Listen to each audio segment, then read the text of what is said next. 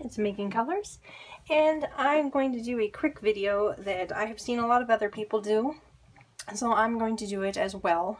And basically what this is is just a video showing you my personal necessity items that I like to have when I'm coloring. So I suggest that everybody has items either like these or these exact ones because it really enhances your coloring. It's not much, it's not too costly, but it does help you have um, much more professional looking pictures and they're just some great items to have if you're really into coloring.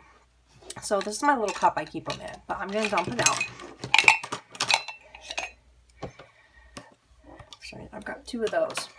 So what I have here is, first to start off, I've got my little Derwent pencil sharpener, which I love. Um, I usually use these specifically for my Derwents and my Black Widow pencil sets. Not my Prismas, it's a little too sharp on them. If you're familiar with Prisma pencils, they're very soft core and they fall apart easily, which is why I have my Faber-Castell, which this is what I use for both my Polychromos pencils, which fit into here, my Gold Faber Faber-Castell pencils, which also fit into this hole.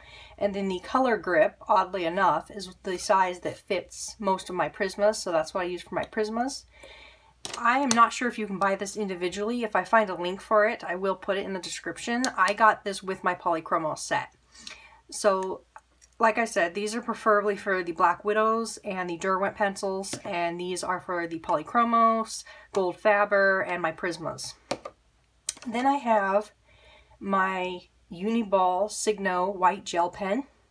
I also have my Uniball Signo gold gel pen. These are relatively cheap, $3 or so a piece. I'll put links in the descriptions, of course. These I particularly use for stars, which is why I got the gold, is because I like to have, like, when I make galaxies, I like to have different colored stars, because when you look up at the sky, you see different colored stars. And then the white you can use for anything. You can use it on leaves, flower petals, anything you kind of want to give a shimmering reflection to or polka dots on dresses, um, details in eyes and faces and lips when you're going like coloring faces, so like um, Hannah Lynn's coloring books. I use these a lot in those. Then we've got my Tombow Mono Zero eraser. I actually bought myself the wrong size, but this is the uh, 2.5 by 5 millimeter.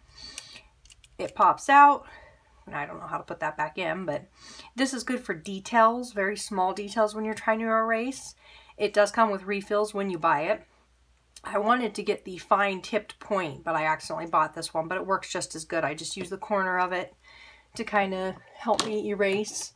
And then I'm sure you've seen this. It's only $8. The Derwent battery operated eraser is my go-to. This works great. The only downside is it's a pretty thick nib. So it is hard if you're trying to just erase a teeny tiny little mess up. That's what I use this for because I can control it. With this one, it's good for erasing a big portion. Um, a lot of people, this is up for debate. A lot of people don't like to use the Derwent blender or any blender pencil. Um, they are just really good at blending their colors together, especially Prismas. I personally, especially when it comes to using Faber-Castell pencils, I prefer to use a blender pencil. And for that, I use a Derwent blender pencil. It's very cheap. You can get, I believe it's, you get two of them and a burnisher pencil, which I've never actually used. I just use the blender. But you get all those in a pack for like seven or eight bucks. So I highly recommend having one if you're like me and you have trouble blending your colors the way you want. And then I've seen a lot of different people do a lot of different techniques to this. I've got your cheap $2 e.l.f. Total Face brush.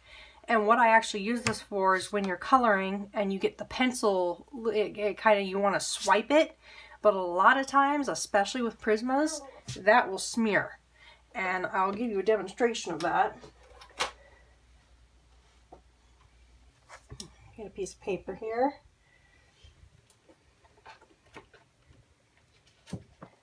Actually, here's one we can use. Oh, paint card, but see see the when you're trying to color really thick. You see all that. Now on a normal piece of paper, this is just a little paint card I was using, but if you swipe that, you're going to smudge and you don't want to. And you can get special brush brushes and I've seen all kinds of different brushes that artists use. I prefer this. It's cheap, it's soft and fluffy, and you just go like that. Just how, see how simple that is? And then you're not smudging. This isn't going to really smudge, but on a normal coloring book, you don't want to smudge your color. So that is just my basic what I would call a starter pack, basically, for if you're going to color what you would like to have in your collection. I'm going to put links in the description to all these that I can find on Amazon. I'm not sure if I'll be able to find this, but I'll find something like it. I just got this at Walmart for two bucks. It's the cheapest one you can get. It's just for dusting off your stuff. And that is everything. Thank you for watching. Please remember to like and subscribe, and I'll see you next time on Megan Colors.